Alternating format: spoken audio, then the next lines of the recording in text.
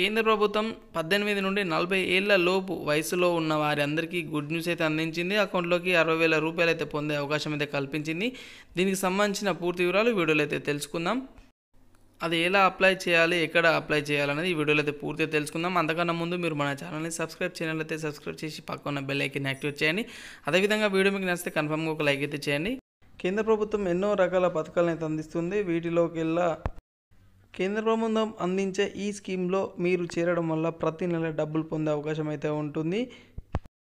ఈ పథకంలో చేరడం వల్ల నెలకు ఐదు వేల రూపాయల వరకు అయితే పొందే అవకాశం అయితే ఉంటుంది. కనీసంగా నెలకు వెయ్యి రూపాయల చొప్పున అయితే పెన్షన్ రూపంలో కూడా పొందే అవకాశం కూడా ఉంటుంది. కేంద్ర ప్రభుత్వం అందించే ఈ అటల్ పెన్షన్ యోజన స్కీమ్లో చేరాలని భావించే వారికి పద్దెనిమిది నుంచి నలభై ఏళ్ళ లోపు వయసు కలిగి అయితే ఉండాలి.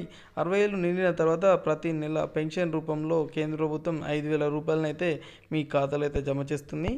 ఇలా నెల నెల డబ్బులు పొందాలనుకునే వాళ్ళు పద్దెనిమిది ఏళ్ళ వయసులో ఉన్నవారు నెలకు వెయ్యి రూపాయలు పొందాలని భావిస్తే నెలకు నలభై రెండు రూపాయలు కట్టాల్సి అయితే ఉంటుంది. అదే రెండు వేల కోసం అయితే నా- ఎనభై నాలుగు రూపాయలు అదే మూడు వేల కోసం అయితే నూట ఇరవై ఆరు రూపాయలు అదే నాలుగు వేల కోసం అయితే నూట అరవై ఎనిమిది రూపాయలు అదే ప్రతి నెల ఐదు వేలు పొందాలనుకునే వారు రెండు వందల పది చొప్పున చెల్లించాల్సి అయితే ఉంటుంది.